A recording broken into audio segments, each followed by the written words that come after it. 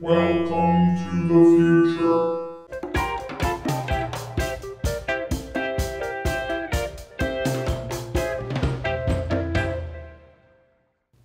Welcome back. Today's episode is the future, and it's really exciting. We're just going to riff on some really big ideas, so sit back, expand your imagination. Here we go. If you thought it was a wild idea that your cortex isn't really in charge and it was really your midbrain unconsciously running the show, it's really going to blow your mind when I tell you about the microbiome in your gut. You have more bacterial cells living in your gut than you have human cells in your entire body. And those bacterial cells are working 24 7. What they're doing, we don't really know. The science of the microbiome is only just now beginning.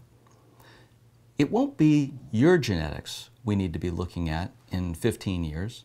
It'll be the bacterial genetics of your microbiome. How are they going to interact with medicine? How is the medicine going to change that population? What neurotransmitters are they making? And which of those are being absorbed in your gut and sent to your brain? There's already good evidence from mouse studies and some human studies that things like appetite can be changed by changing microbiome. And there are very good mouse studies showing that appetite for drugs can be changed by changing the microbiome. It may be possible one day to treat addiction with something called a fecal transplant. And yes, it means exactly what it sounds like. As sophisticated as it seems to us today to be able to individualize and sequence medical treatment for addiction using genetics, imagine what we're going to be able to do in the future when we don't even need medicines. We're going to find ways to use electricity at very low voltages and magnetics across the skull without piercing the skull. We're not implanting any electrodes in someone's brain to affect the actual production of neurotransmitters and the firing of cells inside the brain. Now, there are already early studies to sh show efficacy with magnetic fields and addiction. Not all of those are painless, not all of those are inexpensive, not all of those are ready for prime time. But there's enough of a hint that tells us with a few more years of research and a few more years of refining the process, we're going to get outcomes that we don't even dream of today. Right now, the kinds of genetics we look at are the same genetics you were born with, the same genetics you're going to die with. They don't change at all any day during the lifespan. You can't change the genetic makeup of an individual, but you can change the expression of that genetic makeup. What genes are turned on, which copy of what genes are turned on, which ones are turned off. This is called epigenetics. It is a growing and important field. And right now, it's focused on huge, big issues like drugs and trauma, because that's where the big effect size is. And when you're doing research and you have to produce a paper or you're not going to get funded for your next project, you look at where you're going to find a big answer. But the truth about epigenetics is your epigenetics is affected by everything what time you wake up in the morning, what you ate for breakfast, what the weather was today, who you live with, what their microbiome is, what your microbiome is. Do you have one dog or three cats? All of that stuff is going to change your genetic expression.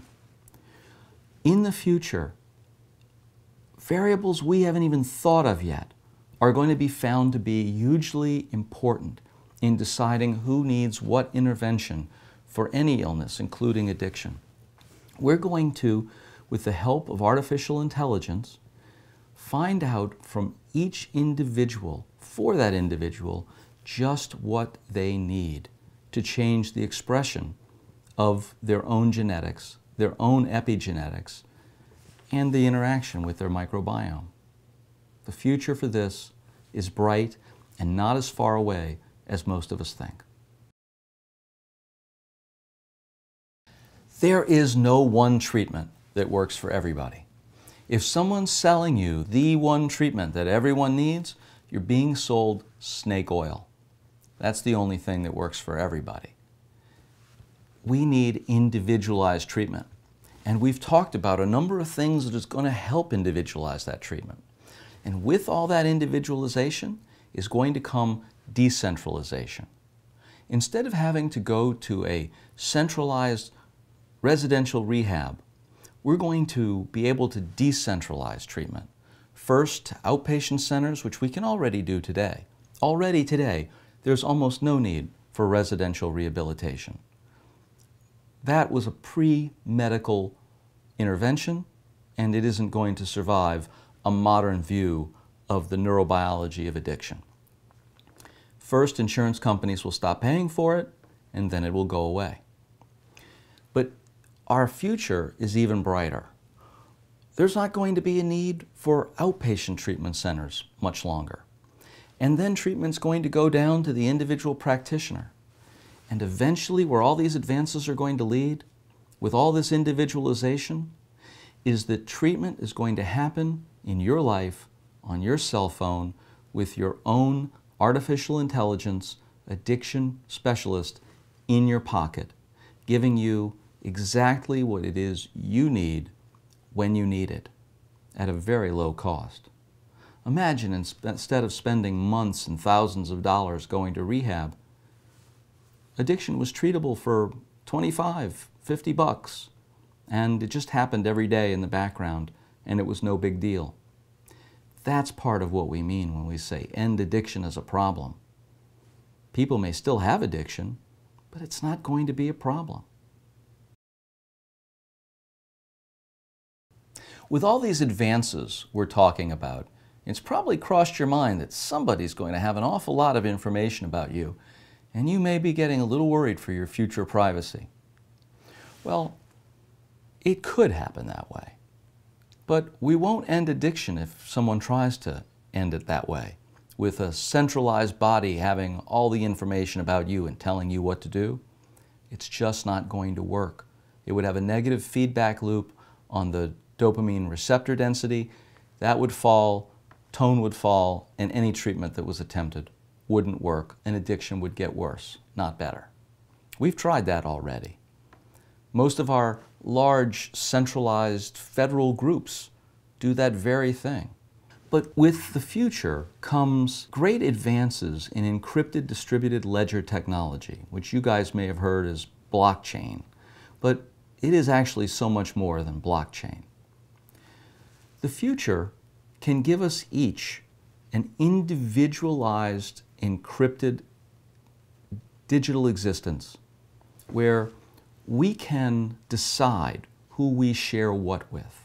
And we don't share it unless we want to. No one else needs to have our information for addiction treatment to work. Once we get it on a distributed platform like treatment on your cell phone, that will, in order for it to work, have to come with privacy assurances, and it will.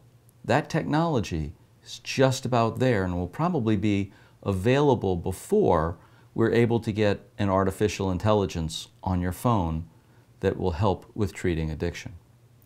So by the time we create that treatment, we'll already have the privacy in infrastructure in place. What about prevention? How's the future going to affect our efforts to prevent cases of addiction? Well, all we've had up to now is just say no. Not only do we tell people to not use drugs, we do things to make those drugs illegal. But now that we understand that epigenetics aren't just affected by cocaine and heroin and trauma and big things, but are affected by every little thing in your life, why are we making some things the focus of our prevention efforts.